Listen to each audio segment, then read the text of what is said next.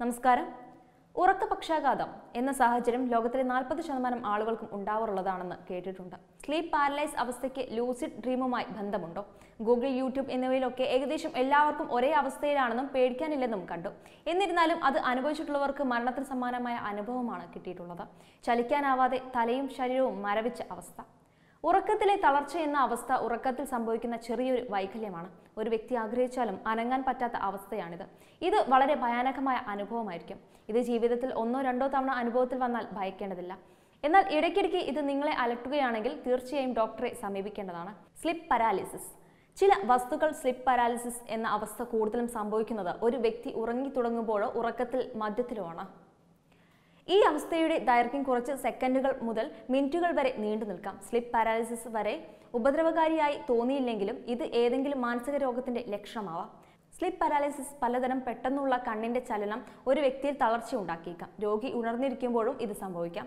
അമിതമായി ഉറക്കം മൂലമാണ് ഈ അവസ്ഥ ഉണ്ടാകുന്നതെന്ന് പറയുന്നുണ്ട്. ഉറക്കത്തിലെ അസ്വസ്ഥ.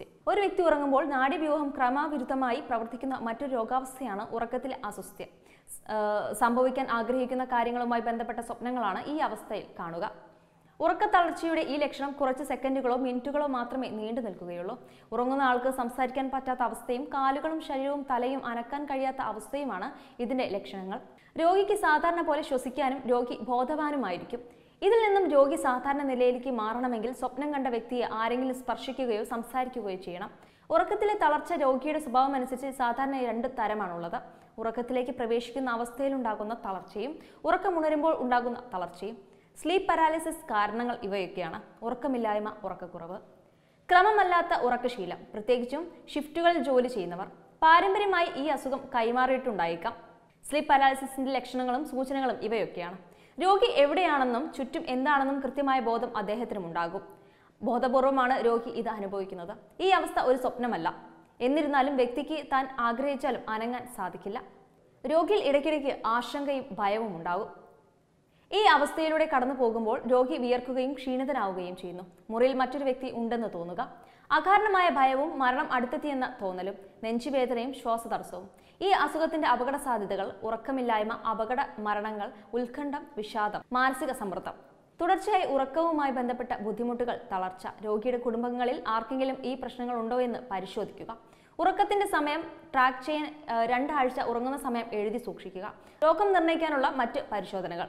ഇനി പോളിസോംനോഗ്രോ രാത്രി രാത്രിയിൽ രോഗിയുടെ ഉറക്കം പൂർണമായി നിരീക്ഷിക്കുന്ന പഠനമാണ് പോളിസോംനോഗ്രോ ചെയ്യുന്നത്. മസ്തിഷ്കം എങ്ങനെ പ്രവർത്തിക്കുന്നു? ഹൃദയമിടിപ്പിന്റെ വേഗത ശ്വാസം എടുക്കുന്ന രീതി. രോഗി കൈയും കാലുകളും ഏത് രീതിയിലൊക്കെയാണ് അനക്കുന്നത് തുടങ്ങിയവയാണ് നിരീക്ഷിക്കുക. ഇലക്ട്രോണിക് പ്രവർത്തനത്തിന്റെ അളവ് അറിയാനുള്ള ചികിത്സാ രീതിയാണിത്.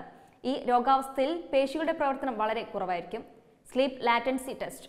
ഈ പഠനം നടത്തുക പകൽ ഉറക്ക സമയത്താണ്. നിങ്ങളുടെ ഉറക്കത്തിലെ തളർച്ച നാർക്കോപ്സി എന്ന രോഗമാണോ എന്ന് മനസ്സിലാക്കാൻ ഇത് സഹായിക്കുന്നതാണ്.